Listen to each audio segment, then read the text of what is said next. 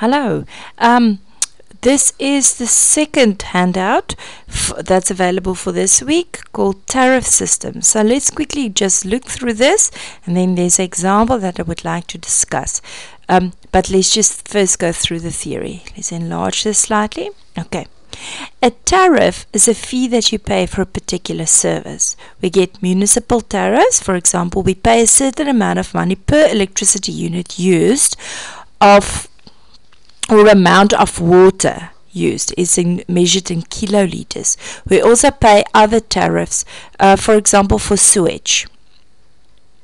Okay, we get telephone tariffs, which include cell phone tariffs, prepaid or contract, fixed line tariffs.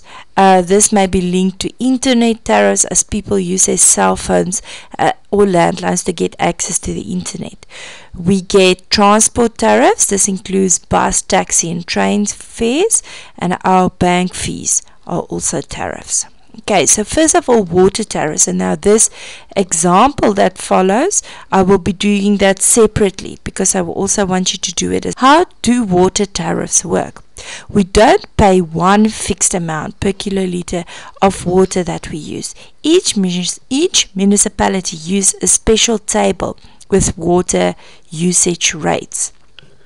This table works according to the principle the more you use, the more you pay. Right, so now this is a table that is from the Oxford Successful Mathematical Literacy uh, Mathematical Literacy book. Alright, so now this is called the gliding scale. If you use up to 6 kiloliters, you pay 6 rand 48. Water that you use between 6,1 kiloliters and 30 kiloliters is uh, is charged at 16 rand 20 cents. Water that's used but that's between 30 and 1 kiloliters and 60 kiloliters is charged at 21 rand 60. Do you see that it increased quite rapidly? As soon as you, uh, for every uh, liter that you consume more than 60 kiloliters, you pay 80 rand 74. Um, if you use more than 6 kiloliters, you also pay extra 7 rand 15 right? Okay, so the explanation of the table. In the first line, if you use 6 kiloliters or less, you pay 6 rand 48 per kiloliter used. This means that if you use 5 kiloliters, you will pay 5 times 6 rand 48, which is 32 rand 40. If you use uh, if you consume in this one and you use 28.7 kiloliters, you still pay 648 for the first 6 kiloliters and then 6 rand 20 per kiloliter for the remaining water used. So first you have to subtract 6 rand from the total consumed. So in this line you use 22.7 kiloliters so you force the first 6 kiloliters you pay 6 rand 48 per kiloliter then you you use 20 uh, 22.7 kiloliters times 1620 and then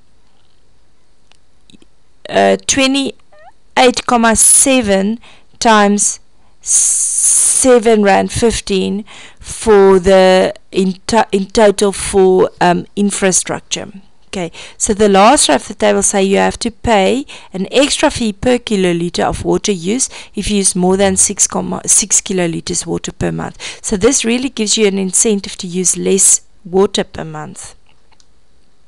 Let's quickly decrease the size of it and the fourth row if you in this row if you use more than then um,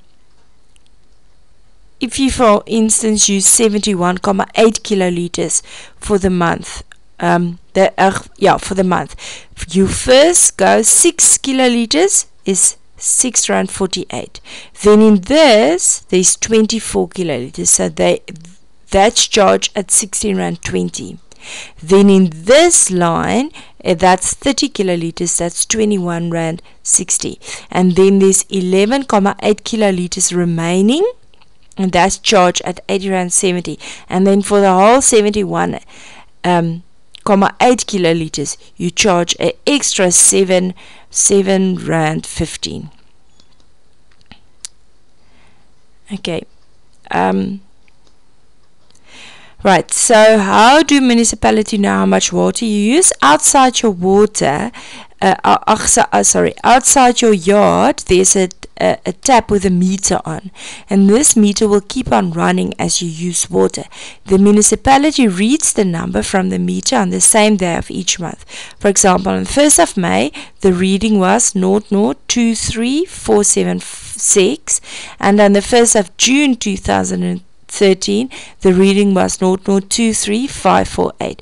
So therefore the usage for the month of May was the large amount minus the small amount, 72 kiloliters. And now you have to complete this. So we'll get, I want you to quickly try this by yourself using this table and then I'm going to continue with the tariffs and then we'll go back to this example. Okay, so let's do electricity tariffs. Right, so what's the difference between prepaid and monthly electricity tariffs? This this is still on your your uh, worksheet. So with prepaid tariffs, you go to the municipality or at some stores and you buy a certain amount of electricity and you load it onto the meter.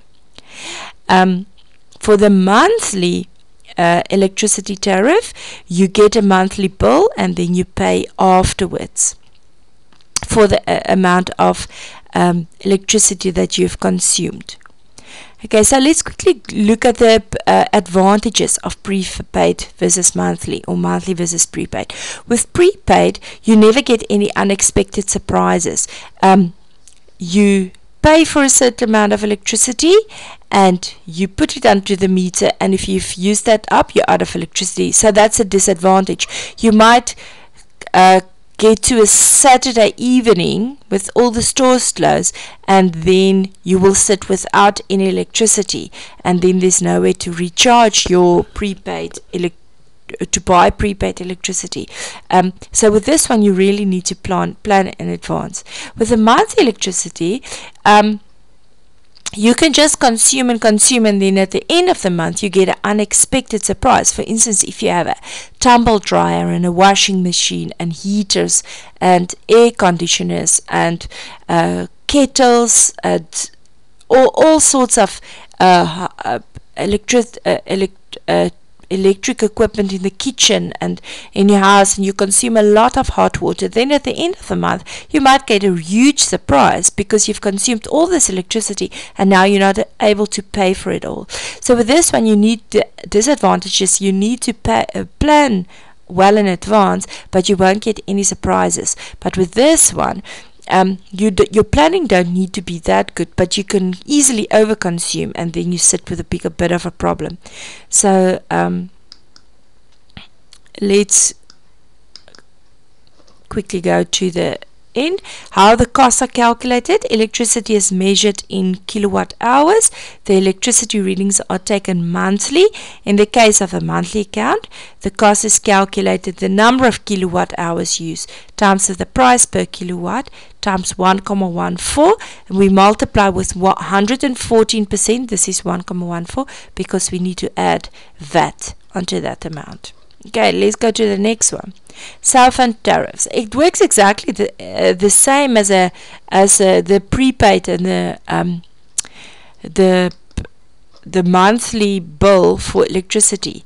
With prepaid, you can't overconsume. So if you've used all your money on your cell phone you can't use anymore. With a contract, you can easily get a huge surprise. A 20,000 Rand account I saw the other day somebody received um, because you made overseas phone calls and you sent SMSs, etc.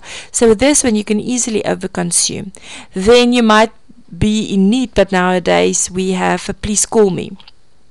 But before that, sometimes you're stuck somewhere or your car breaks down and then you don't have any money on your, on your phone.